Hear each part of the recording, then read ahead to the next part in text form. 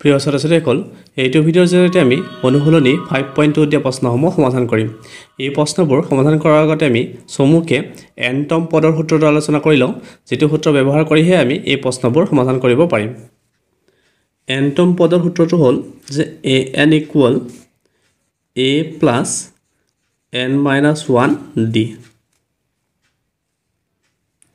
ইয়াত a N মানে এনটম পদটো বুজাইছে আৰু এ মানে তোমালোকে আগৰ পৰাই শিকি আহিছা যে এ মানে হ'ল প্ৰথম পদ ডি মানে হ'ল সাধাৰণ অন্তৰ আৰু ইয়াৰে এন এনটো হ'ল পদৰ সংখ্যা।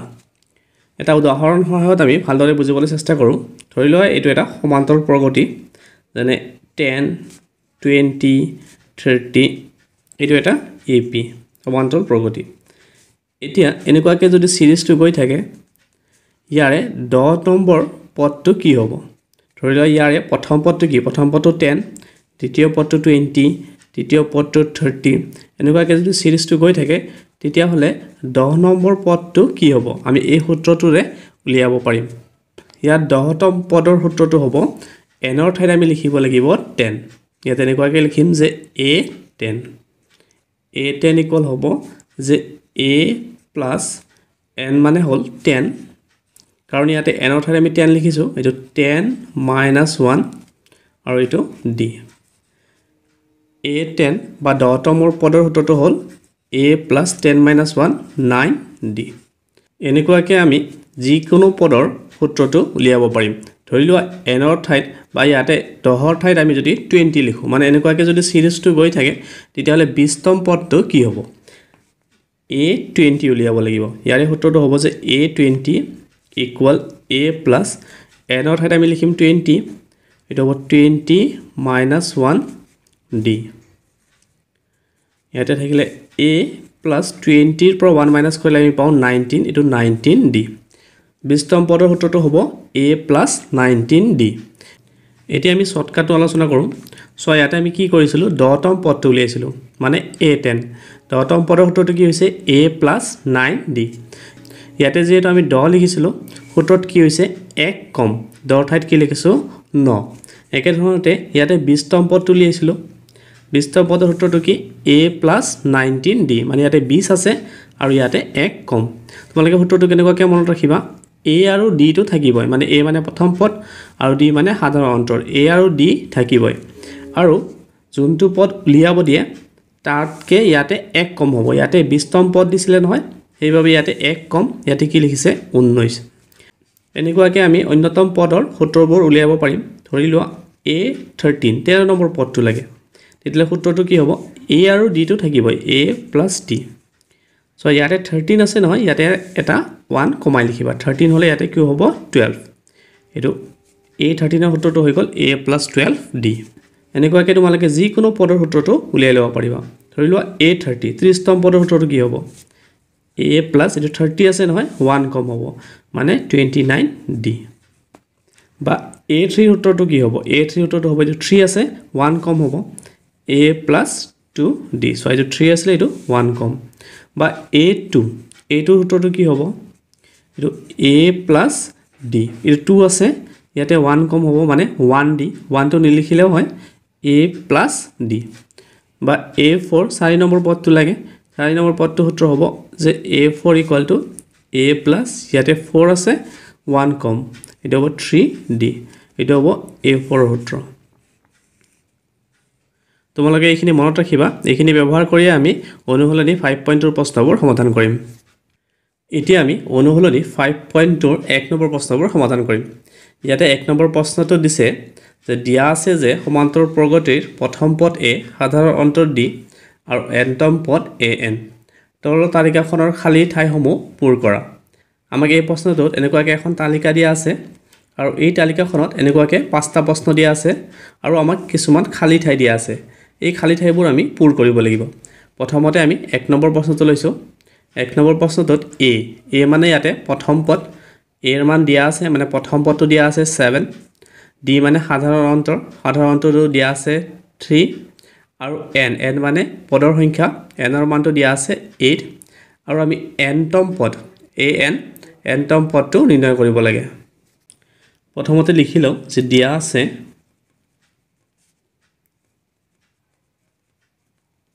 আমাক প্ৰশ্নত এৰ মান দিয়া আছে এ ইকুৱেল ছেভেন ডিৰ মান দিয়া আছে ডি ইকুৱেল থ্ৰী এনৰ মান দিয়া আছে এইট আৰু এনতম পদ এ এন এ এন উলিয়াব লাগে। আমি এনটম পদৰ সূত্ৰটো অলপ আগতে আলোচনা কৰিছোঁৱে এনটম পদৰ সূত্ৰটো হ'ল যে a n equal a plus n minus one d এইটো হ'ল এনটম পদৰ সূত্ৰ। এতিয়া আমি ইয়াতে মানবোৰ বহুৱাই দিম। এৰ মান দিয়া আছে ছেভেন এইটো ছেভেন হ'ব plus n minus one n মানে হ'ল এইট এইট মাইনাছ ওৱান আৰু ডি এনেকুৱাকৈ ব্ৰেকেটৰ লগত ডিটো আছে মানে এইটো পূৰণ হৈ আছে ইনটু ডি ডিৰ মান ইয়াতে থ্ৰী দিয়া আছে। এইখিনি কৰিলে আমি এ এনৰ মান পাম।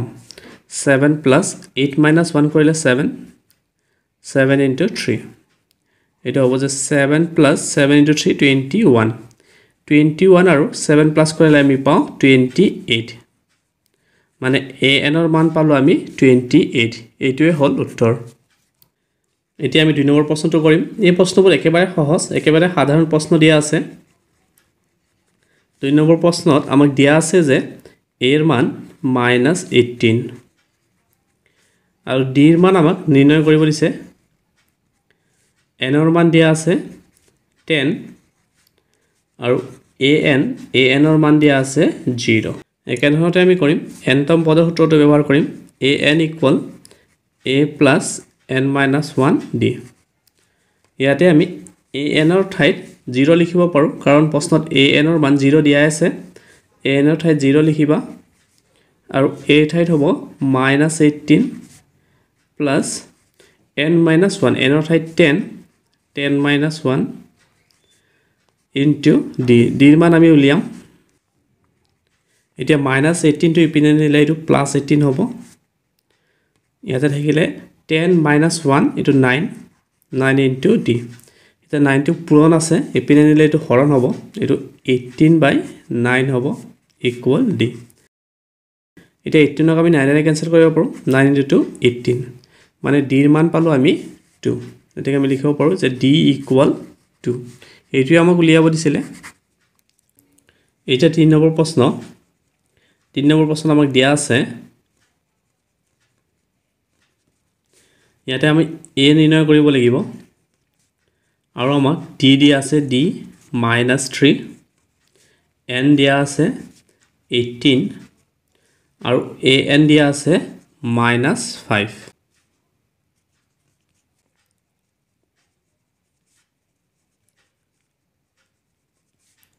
আমি জানো যে সূত্ৰটো হ'ল যে a n equal a plus n minus one d. এইটো এনটম পদৰ সূত্ৰ। ইয়াতে এ এনৰ ঠাইত আমি লিখিব পাৰোঁ মাইনাছ ফাইভ এৰ ঠাইত আমি এ লিখিম কাৰণ আমি এ নিৰ্ণয় কৰিম। এনৰ ঠাইত আমি লিখিব পাৰোঁ eighteen minus one into d d ঠাইত আছে মাইনাছ থ্ৰী এইটো এনেকুৱাকৈ লিখিব পাৰোঁ minus five equal a plus eighteen minus one seventeen seventeen into minus three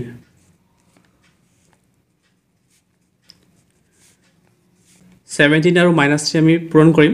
Minus into plus minus seventeen three fifty one এতিয়া মাইনাছ ফিফটি ওৱানটো ইপিনে আনিলে এইটো প্লাছ ফিফটি ওৱান হ'ব।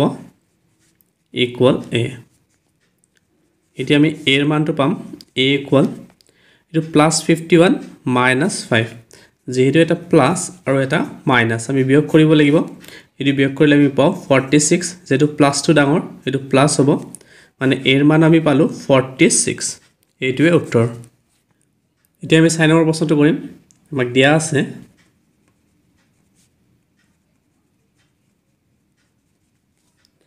এ এ দিয়া আছে minus eighteen point nine d দিয়া আছে টু পইণ্ট ফাইভ এন আমি উলিয়াব লাগিব।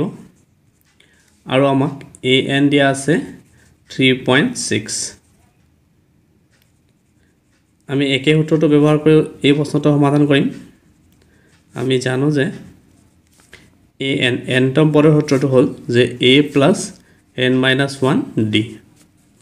ইয়াতে আমি এ এনৰ ঠাইত লিখিব পাৰোঁ থ্ৰী পইণ্ট ছিক্স আৰু এ ঠাইত লিখিব পাৰোঁ minus eighteen point nine plus n minus one into t t ঠাইত আমি লিখিব পাৰোঁ টু পইণ্ট ফাইভ।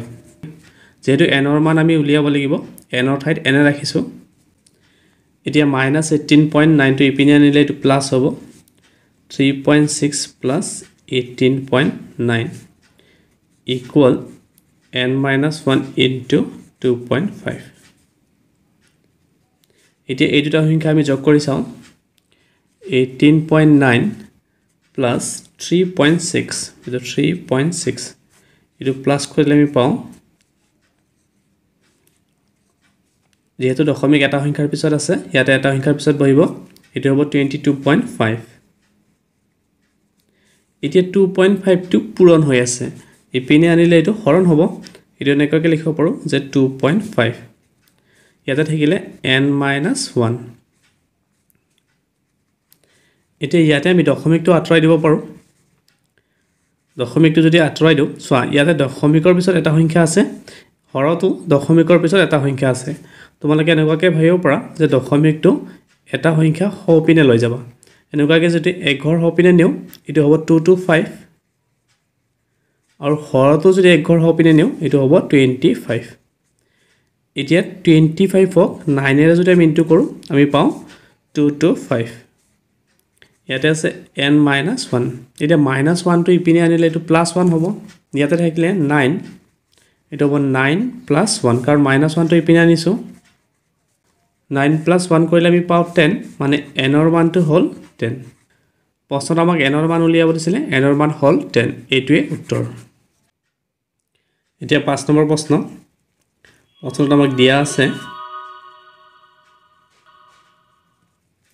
ইয়াতে আমাক এৰ মান দিয়া আছে a equal three point five ডিৰ মান দিয়া আছে ডি ইকুৱেল জিৰ' এনৰ মান দিয়া আছে n equal one zero' five. আৰু আমি এ এন উলিয়াব লাগে। এ এনৰ সূত্ৰটো আমি ব্যৱহাৰ কৰিম এনতম পদৰ।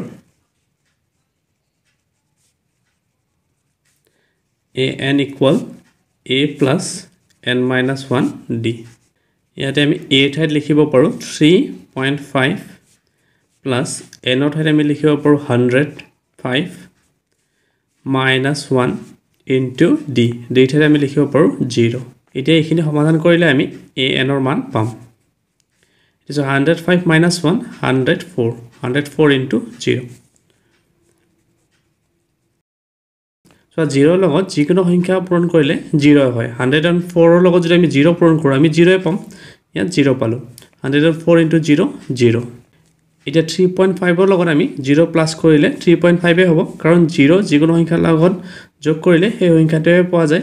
থ্ৰী পইণ্ট ফাইভৰ লগত জিৰ' প্লাছ কৰিলে থ্ৰী পইণ্ট ফাইভে পাম মানে এ এনৰ মান আমি পালোঁ থ্ৰী পইণ্ট ফাইভ এইটোৱে উত্তৰ।